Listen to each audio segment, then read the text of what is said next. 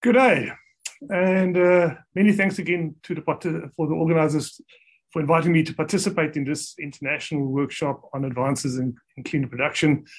Obviously, it would have been fantastic to be in Ferrara to meet all of you in person, but given the global situation, I guess it is what it is. Uh, I'm Alan Brent, and I'm based at Victoria University of Wellington in Aotearoa, New Zealand, uh, where I head up the Sustainable Energy Systems Group.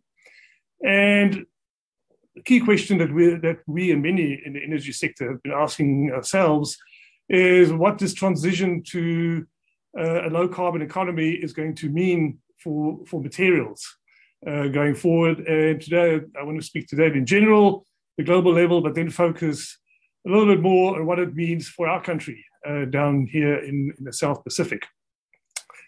Uh, so, what do we mean by this transition? So, this is just a, a, a few slides uh, out of a, a, report from the International Energy Agency that was released this year, where they looked at the role of critical minerals uh, in the clean energy transitions.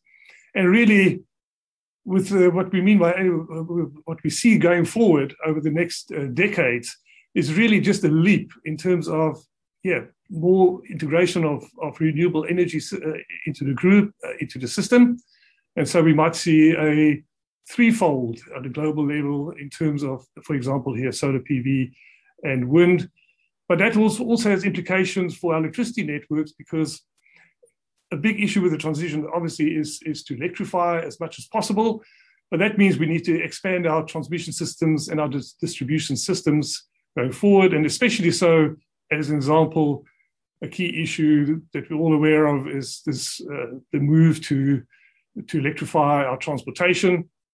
And yeah, that can be electric vehicles or it can be hydrogen, but all of that means, especially if we're going green hydrogen as an example, we need more electricity. All right, so we need to invest uh, a lot more in in the overall uh, electricity generation and supply. And I don't need to emphasize that to this audience. And this is just a picture from uh, Watari and co- colleagues, where yeah, you very often we tend to think about direct flows in terms of energy and some of the materials that, in this example, that might be necessary for, for our electric vehicles. But we all understand there are life cycle implications going upstream. And so the indirect flows of energy that's required there. And there's certain hidden flows, as an example, uh, waste material uh, that, is, that is generated. So, yeah, as I said, for, for this audience, we all understand that we need to have a more holistic uh, understanding of what this, uh, this transition might entail.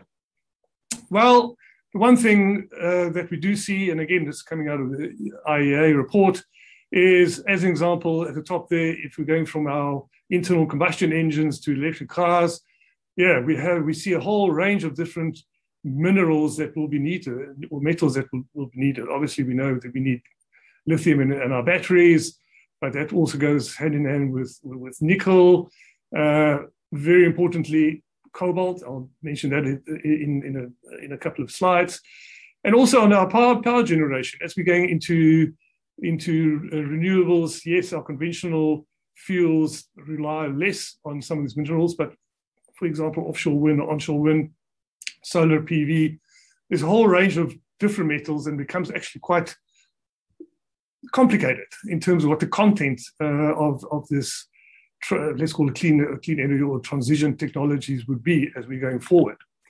And very, a very important aspect for today's discussion is that we'll, uh, we'll see, and we are seeing, a shift uh, in, in global supply chains, uh, going from, from the conventional oil and gas, where we had a minority of, uh, of countries really uh, on, on a global scale participating in, in, in the upstream production of, of those fuels. But as we're going into clean technologies, we see a whole range of countries and different countries that are that are currently and will be uh, participating in the production of these different uh, minerals. And we can see certain uh, countries, for instance, the Democratic Republic of Congo in Africa, where much about two thirds of the cobalt production is, is taking place, as an example. And what we see with this production is it becomes quite geographically concentrated. So, as an example, if you uh, consider hydrogen as an example, and we're going down the fuel cell route, then South Africa, where I'm originally from, uh, is by, by, by, far produces the, the, most of the platinum group, group metals that goes into the fuel cells, as an example, right? Lithium, Australia, I mentioned cobalt in the DRC. Why is that complicated? Well, they've had the challenges in, in, the, in the past.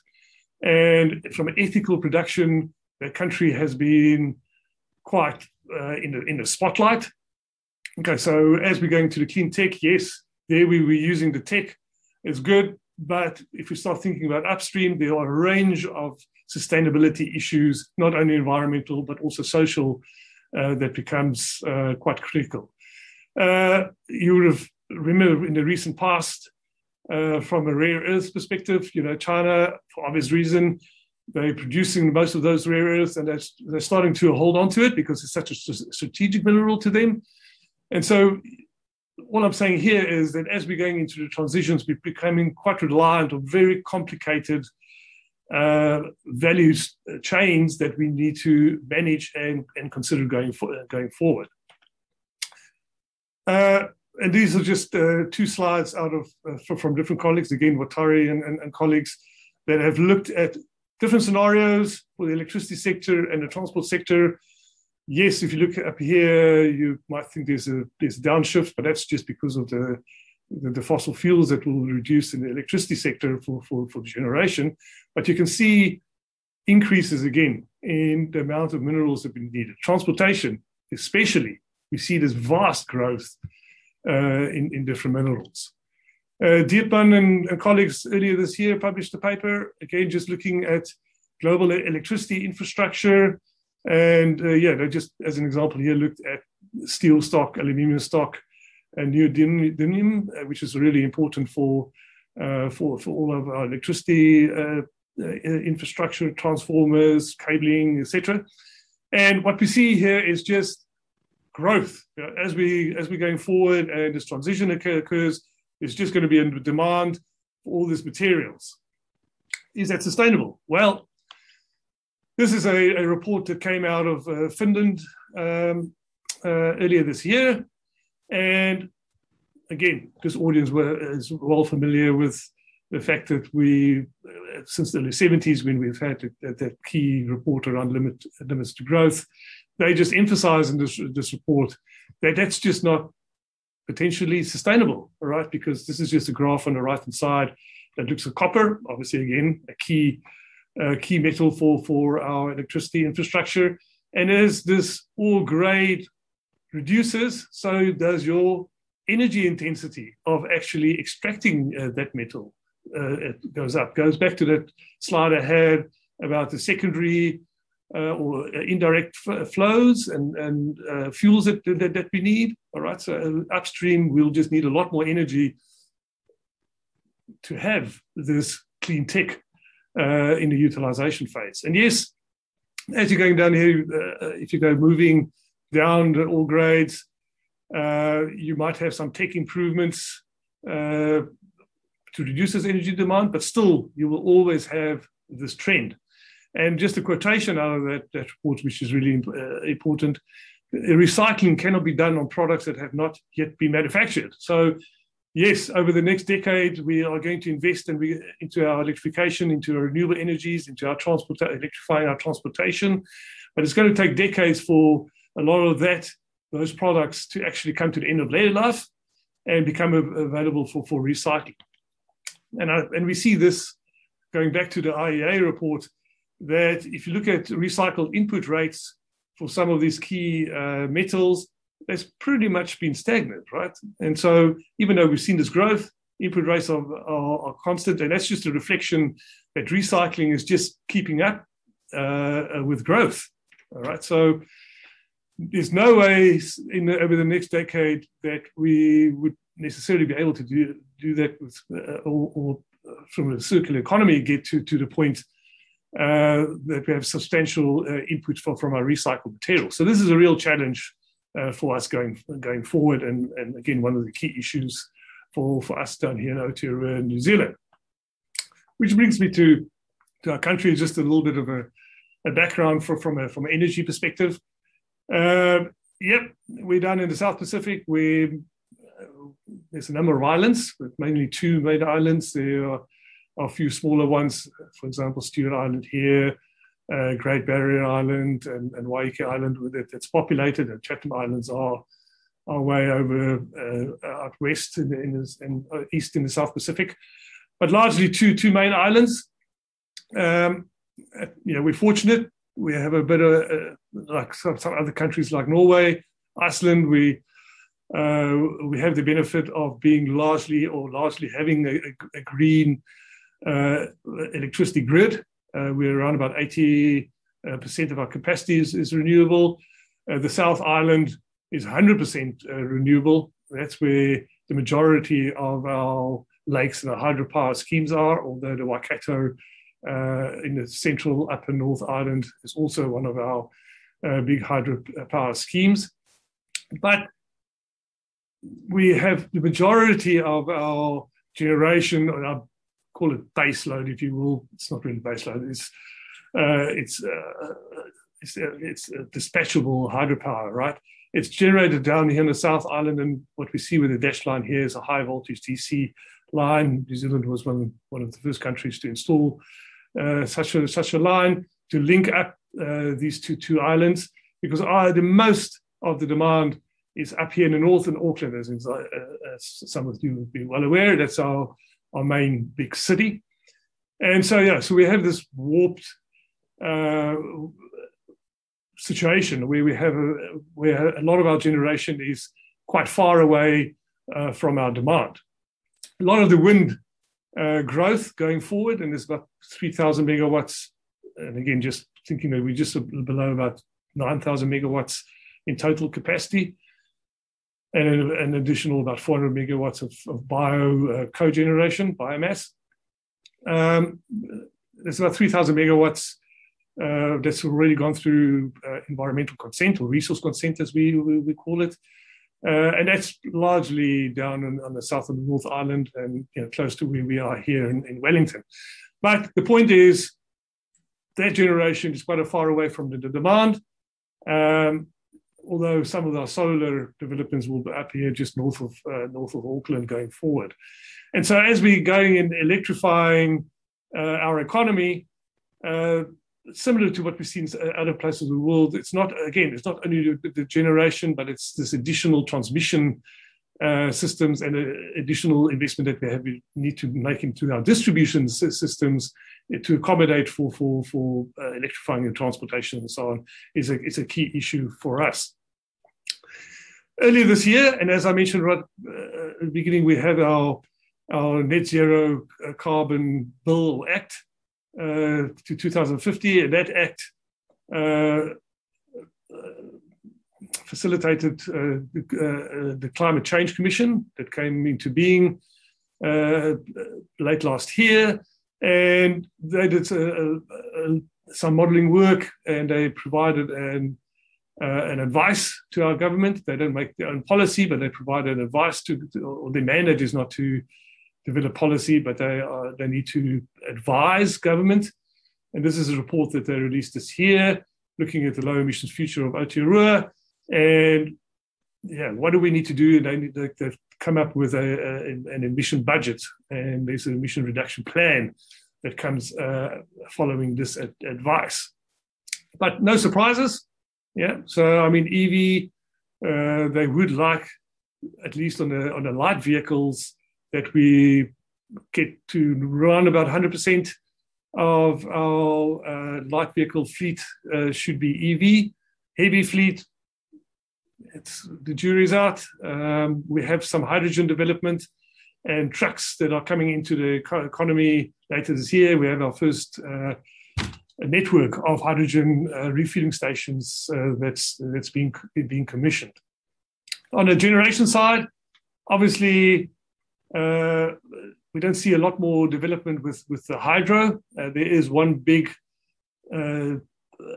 dam or lake uh, that's being considered for pump storage, the Onslow. Uh, that's, but largely there is, given some of the environmental concerns, uh, we don't see a lot more development on, on the hydro side. Some geothermal, uh, but not too much.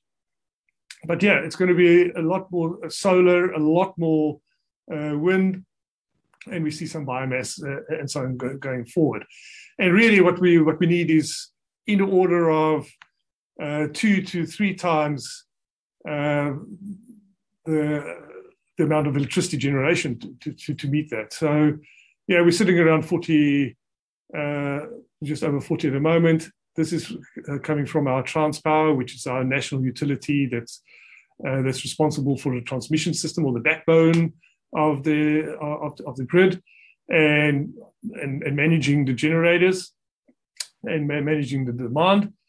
Uh, so yeah, as we again, they've looked at what the Climate Change Commission has said uh, and, and their different scenarios, uh, and it's great. We see this reduction in, in emissions going forward, but it's this graph on the, the right hand side here, and this is conservative. Some some estimates have put this up to about 90 terawatt hours of demand that we will need in a year, coming from about the 40. So yeah, as I said, at least we need to aim for doubling uh, our, our capacity uh, in, in our grid. And this is uh, fed into also a, a, report from Transpower earlier this year, looking at the transmission planning going forward. And we understand more or less what needs to be done to expand the grid. But a key issue uh, that we're asking ourselves what, what, is, what are the material implications and where we're going to get those materials and yeah what, what what what is our contribution going to be to those increasing complex value change that I mentioned uh, earlier on.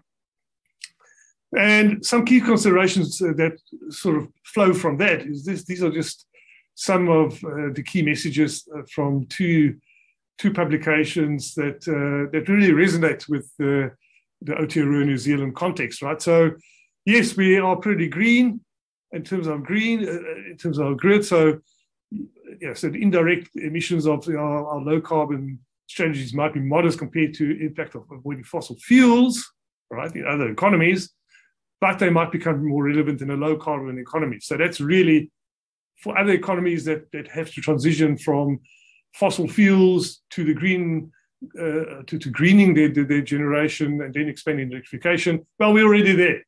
So we don't we don't necessarily have a big issue uh, with this transition from fossil fuels, but we're already reasonably green. And as, as we transition the rest of the economy in terms of electrifying transport, but also process heat, etc., and in, in the built environment, these, these, these indirect emissions actually become much more important than our direct emissions.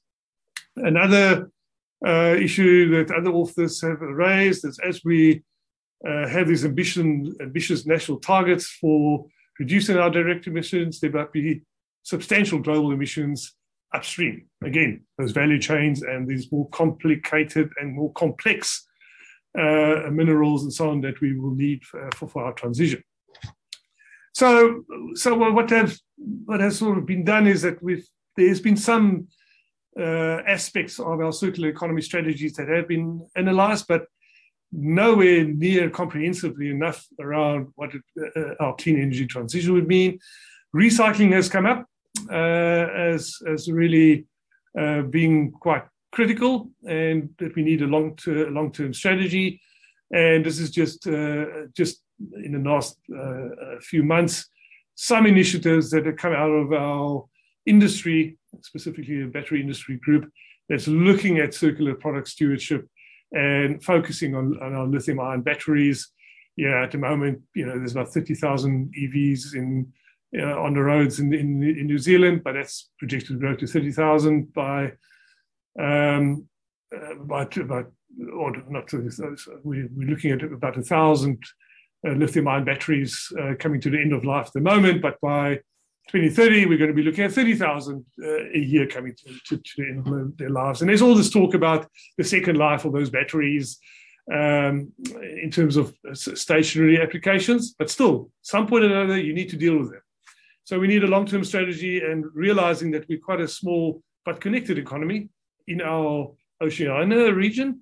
So yeah, we would have to link, uh, think about linking up with Australia and the rest of this, the Asian Pacific, in terms of participating in, in, in circular economy activities.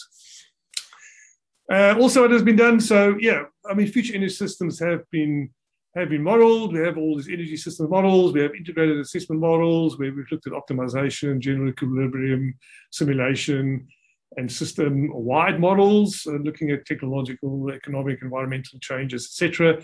But from our perspective, uh, material cycles have largely been overlooked and they really misrepresent prospective life cycle emissions. So, how do our life cycle emissions uh, really look for uh, going forward in a more dynamic way?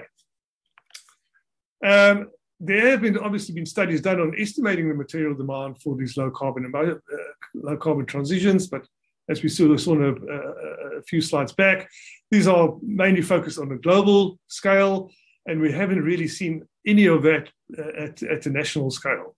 So if we look at those that have looked at, at, at the global situation, there's been different approaches looking at uh, system-wide models where we integrated with input-output models or integrating with life cycle models, or where we look at physical actual flow materials. So we've looked at dynamic material flow stock models. But yeah, we need to think about how do we integrate uh, these different models to get a more cohesive and comprehensive understanding about what the implications will be for, for our transition. And this is really what the focus is of our group at the moment. Uh, we see the need to develop some national models that are integrated, as I said, uh, that look at the dynamic material supply demand and prospective life cycle emissions for our low carbon strategy, because we do realize that we need to understand the national implications in, because we are part of a global economy, but also on uh, the, the, global context, because we need to take responsibility uh, being global citizens. So Jim Hinkley and I are, are heading up this, this research, and we are supervising Isabella Pacelli, uh, that has recently started up a PhD in this space.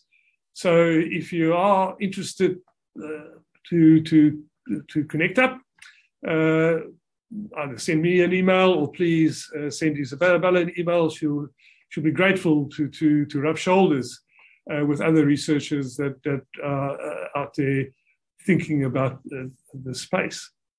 So again, thank you very much for the opportunity to, to speak to this audience. Uh, I, I, would welcome any, uh, any feedback interaction going forward and hopefully within the next year or so, we will be able to meet up in person. All right, enjoy the rest of the conference.